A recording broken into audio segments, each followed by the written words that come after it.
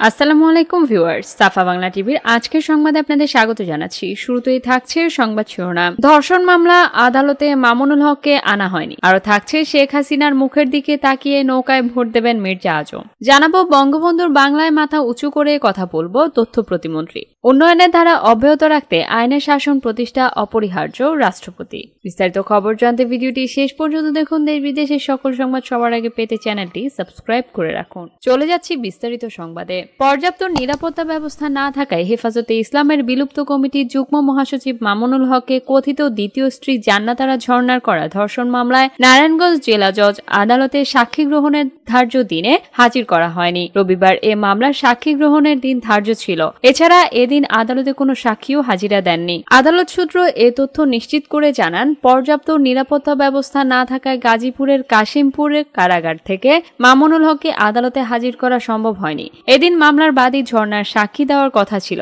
কিন্তু তিনিও আদালতে হাজিরা দেননি। এছাড়া নারায়ণগঞ্জ জেলা নারী ও শিশু নির্যাতন দমন আদালতের বিচারকও ছুটিতে রয়েছেন। এজন্য জেলা ও দায়রা জজ আনিসুর রহমানের আদালতে শুনানি হয়েছে। আদালত আগামী তেইশ নভেম্বর সাক্ষী গ্রহণের নতুন তারিখ ধার্য করেছেন। এর আগে ঝর্ণার দায়ের করা মামলায় তিন নম্বর আদালতে অভিযোগ গঠন। এর আগে ঝর্ণার দায়ের করা এ মামলায় তেসরা নভেম্বর আদালতে অভিযোগ গঠন চার্জ করা হয়। নারায়ণগঞ্জ জেলা নারী ও শিশু নির্যাতন দমন আদালতের public prosecutor PP Rakibuzzaman Rakib জানান, কথিত দ্বিতীয় স্ত্রী জান্নাতারা ঝর্ণা সোনারগাঁও থানায় মামুনুল হকের বিরুদ্ধে ধর্ষণের অভিযোগ এনে মামলা করে। সেই মামলায় কাশিমপুর কারাগার থেকে মামুনুল হকে পুলিশ প্রহরায় নারায়ণগঞ্জ আদালতে নিয়ে আসার কথা ছিল, কিন্তু তাকে আনা হয়নি। মামলার এজাহারে বলা হয়েছে, শহীদুল ইসলামের সঙ্গে ঝর্ণার দাম্পত্য জীবন সুখে শান্তিতে অতিবাহিত হচ্ছিল। তাদের সতেরো ও তেরো বছরের দুই সন্তান আছে। স্বামীর ঘনিষ্ঠ বন্ধু হিসেবে দুই হাজার পাঁচ সালে মামুনুল হকের সঙ্গে ঝর্ণার পরিচয় হয়। তাদের বাসায় অবাধ যাতায়াত থাকার সুবাদে ছোটখাটো সাংসারিক মতানৈক্যের মধ্যে মামুনুল সুকৌশলে প্রবেশ করে স্বামী স্ত্রীর মধ্যে দূরত্ব তৈরি করতে থাকেন। সাংসারিক টানাপোড়েনের এক পর্যায়ে মামুনুলের পরামর্শে দুই হাজার আঠারো সালের দশই অগাস্ট শহীদুলের সঙ্গে তার বিচ্ছেদ হয়। জান্নাত এজাহারে অভিযোগ করেন, বিচ্ছেদের পর অসহায়ত্বের সুযোগ নিয়ে মামুনুল তাকে ঢাকায় আসার জন্য প্ররোচিত করেন ঢাকায় আসার পর তার পরিচিত বিভিন্ন অনুসারীর বাসায় রেখে মামুনুল নানাভাবে তাকে কুপ্রস্তাব দেন। এর ধারাবাহিকতায় মামুনুলের পরামর্শে কলাবাগান এক বাসায় সাবলেট থাকতে শুরু করে এবং বিয়ের আশ্বাস দেখিয়ে এবং অসহায়ত্বের সুযোগ নিয়ে মামুনুল হক তার সঙ্গে শারীরিক সম্পর্ক করেছেন। কিন্তু বিয়ের কথা বললে মামুনুল করছি করব বলে সময় ক্ষেপণ করতে থাকেন। বাদী আরও অভিযোগ করেন, ঘোরাঘুরির কথা কথা বলে দুই হাজার আঠারো সাল থেকে মামুনুল বিভিন্ন হোটেল, রিসোর্টে তাকে নিয়ে যেতেন। সর্বশেষ গত তেসরা এপ্রিল নারায়ণগঞ্জের সোনারগাঁওয়ে রয়্যাল রিসোর্টে ঘুরতে নিয়ে গিয়েও মামুনুল হক তাকে ধর্ষণ করেন। উল্লেখ্য, মামুনুল হক গত তেসরা এপ্রিল নারায়ণগঞ্জের সোনারগাঁওয়ের রয়্যাল রিসোর্টে এক নারীর সঙ্গে অবস্থান করছিলেন। ওই সময় স্থানীয় আওয়ামী লীগের নেতাকর্মীরা এসে তাকে ঘেরাও করেন। পরে ওই রিসোর্টে স্থানীয় হেফাজতের নেতাকর্মী ও সমর্থকরা এসে ব্যাপক ভাঙচুর করে মামুনুল হককে ছিনিয়ে নিয়ে যান। যাচ্ছি পরের সংবাদে। আওয়ামী লীগের সাংগঠনিক সম্পাদক মির্জা আজম এমপি বলেছেন, নির্বাচনে শেখ হাসিনা যাকেই দলীয় মনোনয়ন দেবেন তাকেই বিজয়ী করবেন। প্রার্থী পছন্দ না হলেও প্রধানমন্ত্রী শেখ হাসিনার মুখের দিকে তাকিয়ে নৌকায় ভোট দেবেন। কোন নেতা যদি নৌকার বিরুদ্ধে নির্বাচন করে, নৌকাকে ডুবাতে চেষ্টা করে, তাকে দল থেকে আজীবনের জন্য নিষিদ্ধ করা হবে। কোন অবস্থাতে বিদ্রোহীদের আর দলে নেওয়া হবে না বলে জানান তিনি। রবিবার জামালপুর পৌর আওয়ামী লীগের কর্মী সমাবেশে প্রধান অতিথির বক্তব্যকালে এসব কথা বলেন মির্জা আজম। জামালপুর পৌর আওয়ামী লীগের সভাপতি মাসুম রেজা রহিমের সভাপতিতে আরও বক্তব্য রাখেন জামালপুর জেলা আওয়ামী লীগের সভাপতি অ্যাডভোকেট মোহাম্মদ বাকি বিল্লা, সাধারণ সম্পাদক ফারুক আহমেদ চৌধুরী সহ সভাপতি সৌরভ হোসেন বাবুল সহ প্রমুখ। যাচ্ছি পরের সংবাদে। তথ্য সম্প্রচার প্রতিমন্ত্রী ডক্টর মুরাদ হাসান বলেন, আমি মুক্তিযোদ্ধার সন্তান। আমার জাতিসত্তা একটাই। প্রধানমন্ত্রীর জন্য জীবন দিতে একটুও চিন্তা করব না। আমি চুরি বাটপারি করি না। এদেশের মালিক, জাতির পিতা বঙ্গবন্ধু শেখ মুজিবুর রহমান, এরপর বঙ্গবন্ধু কন্যা, এরপরেই মুক্তিযোদ্ধারা। বঙ্গবন্ধুর বাংলাদেশে জন্মেছি। বঙ্গবন্ধুর কথা বলে যাব। আমি মাথা উঁচু করেই কথা বলব।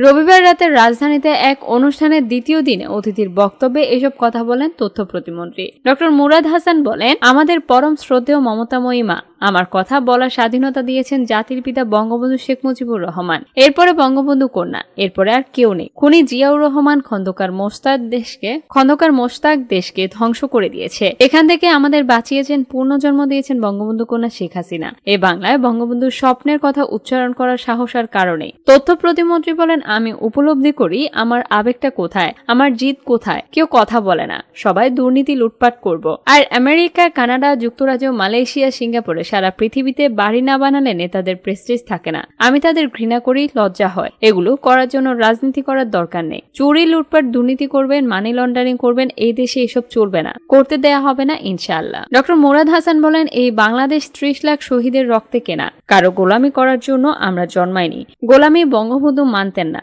এটা বঙ্গবন্ধুর বাংলাদেশ। বঙ্গবন্ধুর টাকা ছিল না, বত্রিশ নম্বর বাড়িও নিজে করেন নাই। তাকে চুরি, লুটপাট করতে হয়নি। আমাদের নেতারা দুই দিনের বৈরাগী, সব হাইব্রিড কাউয়া, চোর, বাটপার টাউট আমরা ওদেরকে চিনি। ডক্টর মুরাদ হাসান বলেন, বাংলার মাটিতে আসার পরে বঙ্গবন্ধু কন্যাকে উনিশশো ছিয়ানব্বই পর্যন্ত অপেক্ষা করতে হয়েছে। বারবার মৃত্যুর মুখে দাঁড়িয়েও তিনি স্বাধীনতা মুক্তিযুদ্ধের চেতনার কথা বলেছেন। আমরা আরও দশ থেকে পনেরো বছর অপেক্ষা করতে পারব। সময় আসলে প্রধানমন্ত্রী ওদেরকে লাথি মেরে বঙ্গোপসাগরে ফেলে দেবেন। যাচ্ছি পরের সংবাদে। রাষ্ট্রপতি মোহাম্মদ আব্দুল হামিদ বলেছেন, উন্নয়নের ধারা অব্যাহত রাখতে দেশে আইনের শাসন প্রতিষ্ঠা অপরিহার্য।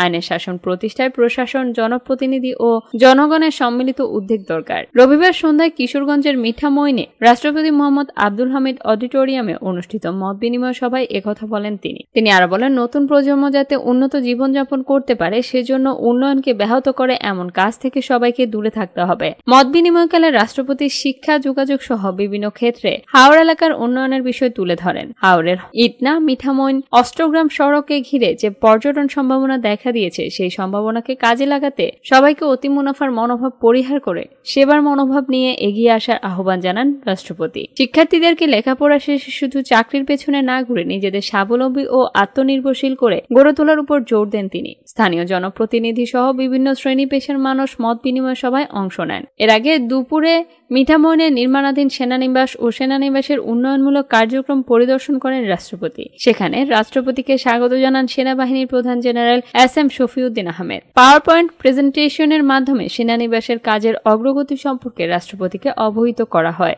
এই সময় কিশোরগঞ্জ চার আসনের সংসদ সদস্য প্রকৌশলী রেজওয়ান আহমদ তৌফিক, কিশোরগঞ্জের জেলা প্রশাসক মোহাম্মদ শামীম আলম সহ অনেকেই উপস্থিত ছিলেন। পরে বিকাল চারটায় রাষ্ট্রপতি তার প্রয়াত পিতা হাজি তায়েবুদ্দিনের পঞ্চাশতম মৃত্যুবার্ষিকী উপলক্ষে আয়োজিত মিলাদ মাহফিলে অংশ নেন। মিঠামইনের কামালপুরের নিজ বাড়ি সংলগ্ন মসজিদ থেকে মুক্তিযোদ্ধা আব্দুল হক সরকারি কলেজ প্রাঙ্গণে আয়োজিত মিলাদ মাহফিলে অংশ নেন তিনি। রাষ্ট্রপতি। সোমবার বেলা আড়াইটায় ইটনা উপজেলায় গিয়ে বিভিন্ন উন্নয়নমূলক কাজ পরিদর্শন এবং সন্ধ্যায় স্থানীয় গণমান্য ব্যক্তিদের সাথে মত বিনিময় করেন। মঙ্গলবার বিকেল তিনটায় তিনি মিঠামইন থেকে কিশোরগঞ্জ সদরে পৌঁছবেন। সতেরো নভেম্বর সন্ধ্যায় জেলা শিল্পকলা একাডেমিতে স্থানীয় গণ্যমান্য ব্যক্তিদের সঙ্গে মত বিনিময় করবেন রাষ্ট্রপতি। আঠারো নভেম্বর বেলা আড়াইটায় ঢাকায় ফেরার কথা রয়েছে তার। সুপ্রিয় দর্শক, আমাদের ভিডিওটি যদি ভালো লেগে থাকে, লাইক, কমেন্ট, শেয়ার করতে ভুলবেন না। চ্যানেলটি যদি সাবস্ক্রাইব না করে থাকুন, অবশ্যই সাবস্ক্রাইব করে নিন এবং পাশে থাকা বেল আইকনটি চাপ দিয়ে নিন। পরবর্তী ভিডিও দেখার জন্য আমন্ত্রণ রইল।